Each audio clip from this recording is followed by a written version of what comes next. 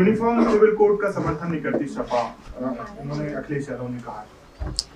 स्वाभाविक रूप से ये तुष्टीकरण की राजनीति करने वाले लोग हैं। और जो भी तुष्टीकरण की राजनीति करेगा, वो इस तरह की बयान देंगे ही। अब धीरे धीरे खुल के आते जा रहे हैं।